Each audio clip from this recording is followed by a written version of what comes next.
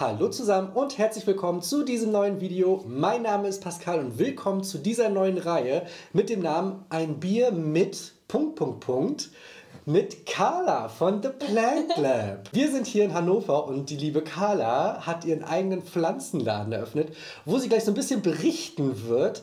Aber zuallererst erzähl doch mal was von dir. Wer bist du eigentlich? Ja, du hast es ja gerade schon gesagt. Ich heiße Carla und ähm, ja, genau, ich habe ähm, im Prinzip eine Ausbildung ganz normal gemacht, so als ähm, biologisch-technische Assistentin, kurz BTA. Und arbeite derzeit in einem Institut, und zwar im Institut für Pflanzenkrankheiten. Das ähm, ist echt cool. Wir ähm, forschen da so ein bisschen mit äh, Pathogenen, also Krankheiten in Pflanzen, und ähm, das macht echt Spaß. Das glaube ich dir. So, ähm, erzähl mal, The Plant Lab. Ähm, jetzt könnte man natürlich denken, woher der Name kommt, aber möchtest du es einfach mal laut aussprechen? Also ja, wie ihr gerade schon gehört habt, komme ich aus dem ähm, Bereich des äh, Labors, der Forschung. Und ich habe erst gedacht, so, mh, hm, nennen wir doch den Laden Splash Plants. Das ist tatsächlich, hat das noch niemand gehört. Splash Plants? ja, ähm, das war so der erste Gedanke, weil ich viele Pflanzen als ähm, Ableger in Wasser auch hatte und die dann ähm, einfach verkauft habe aus Hydrokultur, so ungefähr, wie man es auch schön nennt. Ähm, genau, und so kam dann halt Wasser, Splash und ähm, Plants natürlich. Ähm, irgendwie war für mich klar, dass der Name Englisch sein sollte. Das fand ich ähm, schick. Das ähm, hat mir aber nicht gereicht und ähm, deswegen habe ich mich dann nochmal umentschieden und ähm, war dann so, von der Symmetrik passte das alles nicht. Das Wort sah nicht schön aus und ähm, jetzt äh, durch mein Labor und meinen Berufsalltag ähm, bin ich auf The Plant Lab gekommen und habe auch ähm, hier zum Beispiel ein Becherglas und ähm, die stehen überall im Laden und da sind dann Ableger oder hier kleine ähm, Kletterhaken drin für Pflanzen und ähm, so habe ich so ein bisschen den Laboralltag mit reingebracht. Besser geht's ja nicht. Ähm, aber wie kamst du jetzt eigentlich auf die Idee zu sagen, ich mache jetzt ein Pflanzengeschäft auf? Wie kam das? Ja, ähm, das, das kam irgendwie einfach so. Also tatsächlich. Es war ähm, ja, ich habe Pflanzen mir selber angeschafft, wie jeder andere wohl auch, der diesen Kanal guckt. Und ähm, habe so viel Spaß am Ablegerverkaufen gehabt und äh, die Gespräche, die Kunden, das, das war einfach schön. Und ähm, das Schreiben hat mir am Anfang echt äh, irgendwann ja, wehgetan, so fast in den Fingern, weil es so viel war, dass ich überlegt habe, einen Online-Shop zu eröffnen das lief dann so okay, war immer noch mehr über eBay Kleinanzeigen. Ähm, und dann, ja, komm, der Laden unter unserer Wohnung, der ist frei. Also er war noch nicht ganz frei, Kinderwagen und Fahrräder standen drin. Aber kein Hindernis für mich. ich habe die Vermieterin dann einmal ganz lieb angesprochen und sagte dann, weißt du was, ich hätte gerne den Laden und würde gerne einen Zimmerpflanzenfachhandel eröffnen. Und sie war so begeistert von dieser Idee, dass es dann noch sechs Monate dauert, bis ich ihn bekommen habe. Aber war okay, aber. Hat einfach sehr lange gedauert, ihn auszuräumen. Aber okay, aber das ist ja so. Aber wenigstens hast du ja. ihn bekommen, ne? Richtig, genau. Und ähm, deswegen, ähm, es gibt eigentlich gar nicht so den Moment, wo ich sage, ich habe ähm, die Vision gehabt, einen Zimmerpflanzenfachhandel zu eröffnen, es kam einfach und es war eine glückliche Fügung. Sehr schön. Und, ja. und, und läuft? Ja, ich bin sehr zufrieden. Ich, das also, freut mich. Die Pflanzen-Community ist für mich einfach ein, ein, ein ja, Glück, weil sie bringen so viel Freude mit. Alle haben Bock, alle sind lieb und nett und man teilt so viel. Das macht echt Spaß. Das ist schön, das freut ja. mich. ähm, Du machst ja jetzt, du hast ja jetzt hier den Laden. Ja. Du arbeitest noch nebenbei im Labor. Was machst du denn so in deiner Freizeit? Lustig, dass du es ansprichst. Ähm, Ach so? ähm, es ist sehr wenig Freizeit. Es ist wirklich sehr Ich wollte eigentlich auf die Podcast-Geschichte hinweisen, wo ich auch schon mal Gast war. Das meinte ich mit Freizeit. Wollen wir den nochmal aufnehmen? Oder? Was, den Podcast? Nein. Die Szene. Ach Quatsch, nein, das ist doch. Das ist doch. Äh, lustig. Okay. Äh, Du sagst, sie arbeitet nebenbei im Labor, was ja ihr Hauptjob ist. Das ist ja das Leben. Ach so, ja gut, dann ist... Ah, ja, meine Güte. Man kann aber auch alles auf die Goldwaage legen. Absolut. Du hast ja aber auch ein sehr interessantes Klima hier. ähm, ich bin schon total am Schwitzen. Aber erzähl mal, ähm, was äh, möchtest du über deinen Podcast erzählen? Was ist das für ein Podcast? Was, äh, Ja, wie genau. entstand der? Also, ähm, genau, wir machen einen Zimmerpflanzen-Podcast, Oliver und ich, also Oliver Jürgens. Und ähm, genau, der heißt Grün färbt ab. Und äh, wir haben jede Folge ein anderes Thema. Wir haben jetzt in der letzten Folge, die ähm, in KW 18 rauskam. Ich, ich rede in Kalenderwochen, furchtbar. Ich bin voll raus. Bei KW 18 die letzte Woche. Ähm, ja, ja. Ach so, okay. Genau. Nee, diese Woche. Oder? Ich Nein, weiß, das ist der wir- siebte Mai. Egal. Das reicht. Und ähm, nee, genau, dann ähm, ja, haben wir halt äh, das Thema Orchideen gehabt. Dann haben wir super viel über Orchideen gesprochen, aber nicht nur zu zweit, sondern mit einem Interviewpartner. Und zwar ähm, dem Christian Wiechmann von Orchideen Wiechmann. Er ist Orchideenzüchter und hat äh, in Celle sein, äh, seinen riesigen Gewächshäuser und dann musste er Rede und Antwort stehen vor Oliver mir und äh, hat äh, sehr gerne unser, sein Wissen mit uns geteilt. Genau. Und ihr konntet auch was lernen. Also Olli hat gesagt, er hätte jetzt doch mehr Bock auf eine Orchidee, Hm. als er eigentlich vorher dachte. Na, mal gucken, wann er sich eine holt. Ich bin sehr gespannt. Ja. Wie viele Folgen habt ihr jetzt? Ähm, das ist die 13. Folge. Und ich war in Folge 7, bin ich der Meinung. Ja, richtig, das ist genau ja, richtig. ja, gut. Ja, es war sehr, sehr amüsant. Also die, die Aufnahme, ich will nicht sagen, sie war chaotisch, aber hu, ich habe, glaube ich, ich will nicht sagen, eine Flasche Wein gelernt, das wäre too much, aber, Ja, aber es war sehr, sehr viel Wein. Und ich dachte nur am Ende, oh mein Gott, was habe ich alles gesagt? Und ich meine, wenn ich jetzt diese Videos mache, ich kann genau entscheiden, was nehme ich rein, was lasse ich weg, so anschneiden. Ja. Jetzt war quasi das in andere Hände gelegt. Ich dachte nur so, ich habe es angehört und dachte, oh Gott, hoffentlich hat Oliver nicht irgendwas reingenommen, was peinlich oder was man nicht sagen sollte. Deswegen, ach, das war. Ja, da achtet man ja immer drauf. Aber, ähm, also Podcast machst du. Dann hast du natürlich noch deinen Hauptberuf Ja, genau, richtig. und äh, deinen Pflanzenladen. Wie lange hast du den jetzt eigentlich nochmal? Der ähm, hat die Eröffnung gehabt am 2.10.21. Oh. Also aktuell sind es jetzt dann sieben, neun, acht, acht Das ist ja echt krass. Ja. Ja. Du Nee. feierst ja auch dann im Oktober einjähriges. Ja, da gibt es einen mega Sale hier. Also es gibt The Plant Lab schon seit dem 01.01.2021. Es hat aber halt gedauert, ich muss hoch. Cut. Also es liegt jetzt hier aber nicht an der trockenen Luft hier. Der Wein ist trocken. Hallo. Die Luft ist sehr feucht. Wenn du jetzt so an de de deinen Shop hier, ne? Ähm, welche Pflanze, also du hast du irgendwie eine Lieblingspflanze, die du so gerne verkaufst, weil sie so easy ist, weil auch jeder Kunde die toll findet oder oder gibt es vielleicht auch das gesamte Gegenteil? Hast du Pflanzen, du denkst, so, ach, warum habe ich die mir bloß in den Shop geholt? Wie anstrengend kann eine Pflanze sein?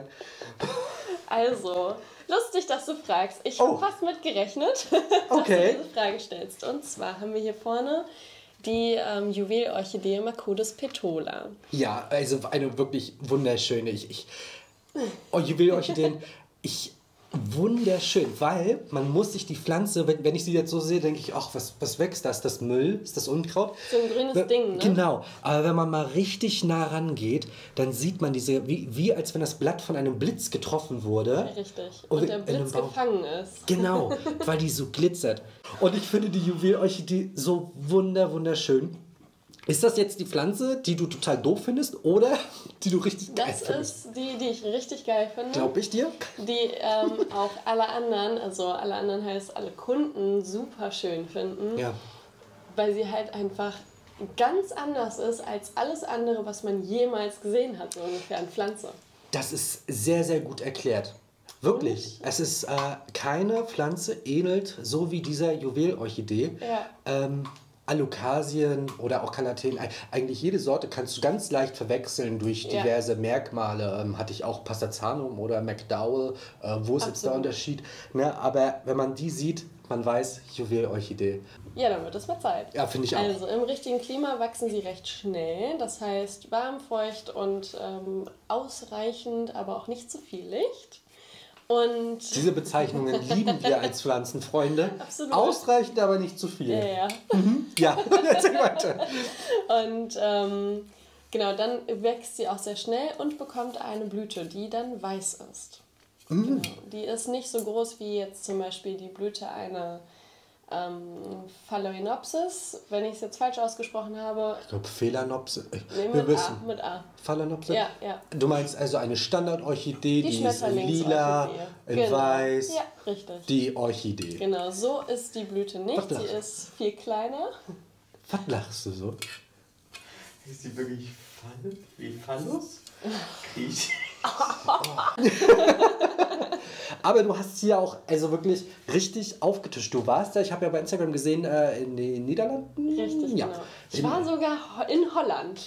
Viele Stimmt, das ist eine Provinz. Richtig, genau. ist- genau. Ja, ja, ja. Mhm. Und äh, da hast du ja ordentlich eingekauft. Was hast du denn alles mitgebracht?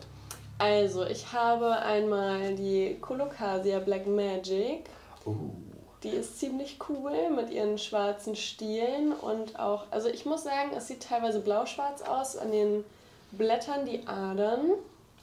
Ich kenne die als, äh, die hatte ich Teacup. neulich mal gesehen, äh, als Pharao-Mask. Nee, Pha- das ist nochmal eine andere. Ich, ich weiß genau, aber die Ja. ähnelt mich so sehr. Ähm, bei der Pharaoh-Maske, oder wie sie auch immer heißt, ich weiß nicht, da sind die Adern ja wesentlich dicker und die. Ja. Ist um no. ähm, Und genau, du warst in den.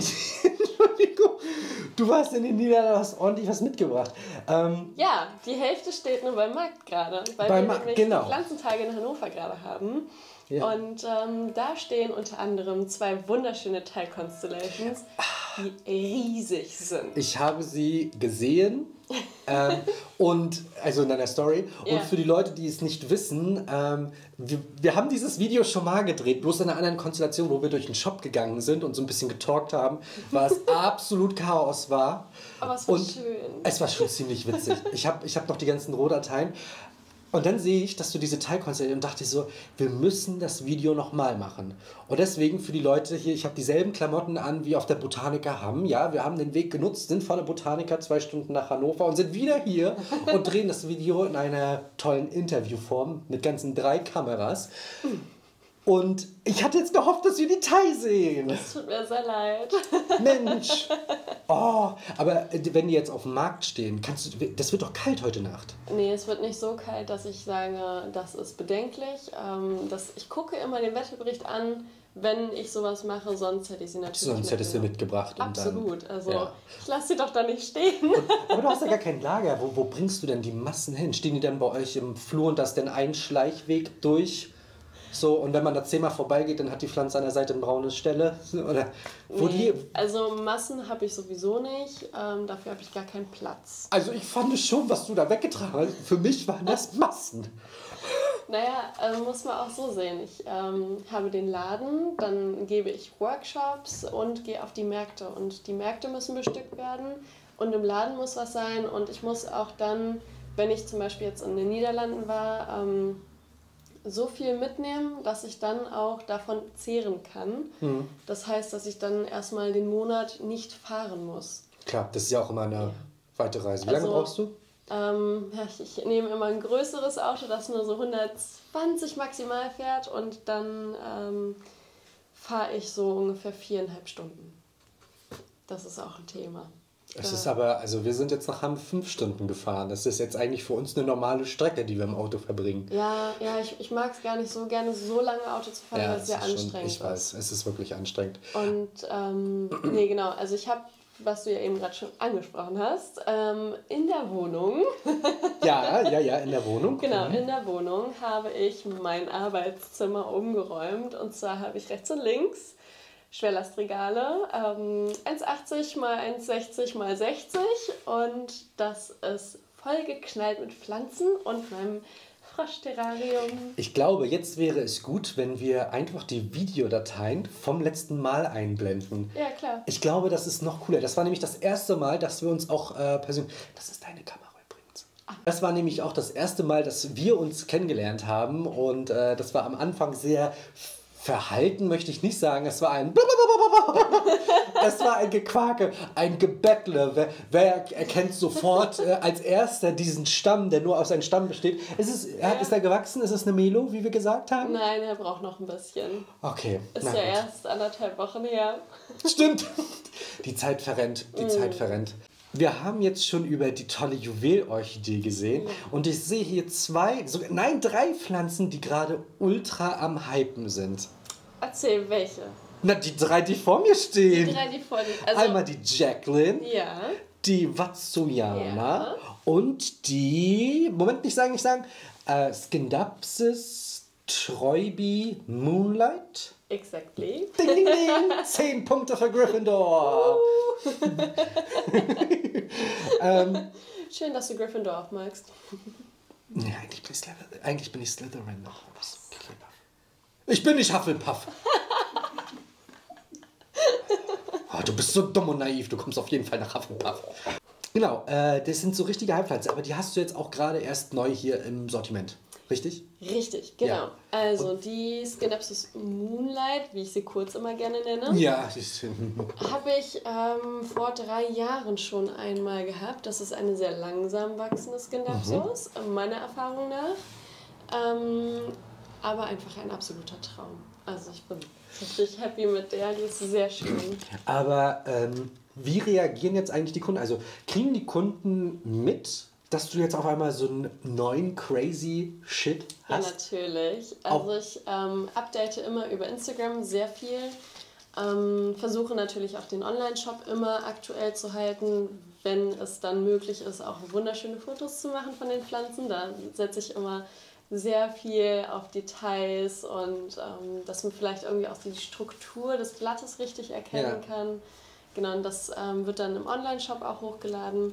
Vieles aber wirklich über Instagram und den Leuten das halt direkt zu präsentieren, zu sagen, wir haben jetzt diese Pflanze im Laden und ähm, wir finden die besonders, weil. Ja. Genau. Ist ja auch wichtig. Also das ist ja das Tolle, dadurch, dass du deinen eigenen Shop hast. Du kannst ja selbst für dich bestimmen, welche Pflanzen du gerne im Sortiment hast. Ja. Wenn du sagst, hier die, die, die blöde Zibrina, die mag ich nicht, die möchte ich nicht in meinem Ver Auch wenn vielleicht Kunden fragen, ja, das ist ja. natürlich ne, schwierig dann so ein bisschen zu erklären. Aber du kannst dann einfach sagen, ey, die nehme ich nicht. Richtig. Ne? Also wenn jemand sagt, ich brauche die, dann sage ich so, okay, auf Bestellung machen wir das. Ja aber äh, nicht von mir aus. Mit einem Monat Wartezeit, weil du musst dann erst wieder nach Holland. Ich muss nicht immer nach Holland, wir haben auch um die Ecke einen. Ach, das ist schön. Das ist sehr schön, ja. Ja, okay. Ja. Ich habe jetzt hier ein, wie heißt es nochmal? Becherkolben? Nein. Becherglas. Becherglas. Richtig. Ein Kolben ist der, der oben enger läuft. Ne? Richtig, genau. Ist auch richtig Kolben? Ja. Ähm, habe ich hier sogar einen stehen? Ich habe hier äh, Erde, die du selbst mischt. Richtig, genau. Ja. Das ist unsere The Plant Lab Erde, ja. wie ich sie gerne nenne. So was also unser sie? Hausmix. Ähm, es ist eigentlich sehr einfach. Es ist ähm, Perlite, das ist das weiße Zeug, was ja. aussieht wie Styropor. Das ist dieses hier. Genau, kannst du auch da reinmachen. Das hätte ich jetzt auch so gemacht. Gut. genau. Ähm, dann ist da ein, ein bisschen Rinde drin, nicht zu viel, weil es für kleinere Pflanzen schwierig ist, sie dann einzupflanzen. Das ist dann zu grob. Klar. Ähm, deswegen machen wir da nicht so viel oder ich nicht so viel rein. Dann ähm, Grünpflanzen, Zimmerpflanzenerde, die hat einen Langzeitdünger und dann ähm, genau ab und zu, wenn wir welche haben, Kokosfasern oder halt dann Bims, Blähton, alles Mögliche, was so Drainage bietet wie Perlite, ja. ist immer gern gesehen in unserer Erdung. Es ist ja auch so, dass die einfachsten Sachen am besten wirken. Also wenn ich manchmal geschaut habe, was die anderen Leute so für, für das sind ja fast schon Backanleitungen für einen Thermomix. Ja. Weißt du, was die da zusammenmixen? Da musst du doch ein Studio abgeschlossen haben. Ja. Wirklich, ich habe das ja genauso. Ich habe äh, Perlit, ich habe Kokosfasern und äh, Rinde. Alles ein Teil jeweils zusammengekippt. Für mich funktioniert die Erde. Und das ist ja auch das Interessante, ja. dass jeder so seine eigene Erde hat. Ja. Ne? Und der am besten klarkommt. Genau. Oder? Die Zukunft. Was ähm, denkst du so, wo, wo wird die Reise hingehen? Ich meine jetzt auch nicht realistisch. Wenn du jetzt wirklich den, den Traum, was würdest du dir wünschen für die Zukunft, wo du irgendwann, ich weiß, schwierige Frage, aber wo willst du irgendwann mal hin mit The Plant Lab? Da kriege ich direkt diesen zum Sterne-Guck-Blick nach oben. Gartencenter, dein eigenes Gartencenter. Nein, da habe ich keinen Bock drauf. Das war im übertragenen Sinne, hätte ich auch nicht. Ach nee, da hätte ich auch nicht so viel. Vor allem dieser ganze Deko-Kram. Oh, Fürchterlich? Ja. Ja, nee. Wir haben hier ein Gartencenter in der Nähe und die haben Grill-Accessoires, Gewürze, Deko, Deko, Deko, Deko, Deko und so weiter. Ich kann noch mehr Deko sagen. Das Aber es ist ist Deko ohne Ende. Zwischendurch gibt es auch nochmal Teller und Besteck. jedes Gartencenter in Deutschland, ich weiß. Kenne ich. Jetzt sag mal, also wo, wo geht die Reise hin? Wo, wo würdest du dich eigentlich sehen? Ich hätte gern einen größeren Laden und ich habe da so einige ähm, ja, Visionen, was dann auch noch alles weitere da so in dem Laden vorhanden sein soll. Und ähm, da bin ich auf jeden Fall stark am Träumen, gucke auch immer in Hannover, ob es irgendwo einen Laden gibt. Einen größeren? Ja. Ja, das, das kann ich verstehen. Nee, und das ähm, ist wirklich mein Traum, wo ich sage so, ich mache die Pflanzen in meinem Geschäft, aber was mir auch, also was ich auch immer gerne betone, ist, weil es meine absolute Leidenschaft vor allem zuerst war, ist im Labor. Okay, das wirst du also wahrscheinlich sehr, sehr lange beibehalten. So. Weil es eine Leidenschaft ist. Man sagt ja auch immer, wenn du gerne zur Arbeit gehst, dann ist es ja keine Arbeit, Ja. sondern eben Leidenschaft. Und klar, da hast du ja natürlich die Verbindung zwischen den Labor Ja, ja, und den richtig, Pflanzen genau. hier. Ja, oh, ich bin auch gerade auf meine. Ah, so ein feines, Mm. so ein kühles, blondes. Ja. Und damit meine ich nicht das Bier.